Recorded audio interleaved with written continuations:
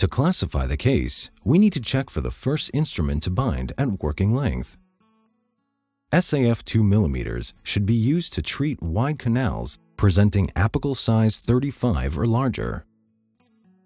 SAF 1.5 mm can be used with no additional glide path in simple canals presenting apical size of 20.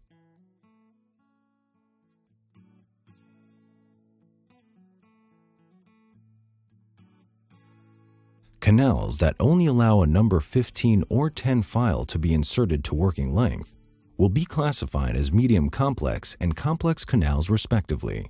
In these cases, a glide path must be created that will allow the free insertion of the SAF to working length.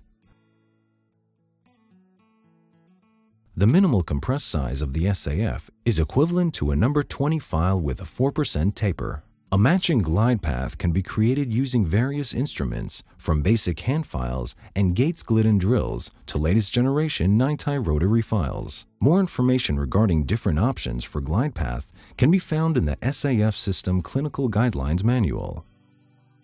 The best way to verify the adequacy of the glide path is to try to manipulate the SAF manually to working length before proceeding.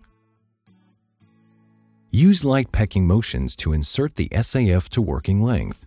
If resistance to insertion is encountered, stop and re-establish glide path. Excessive apical pressure at this stage may damage the file.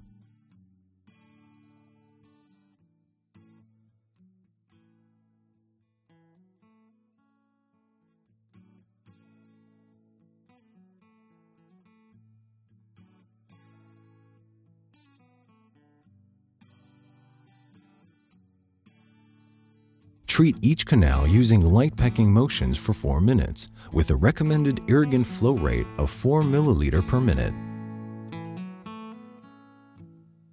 When used properly, the file rotates to change its axial position only during the outbound stage of the pecking motion.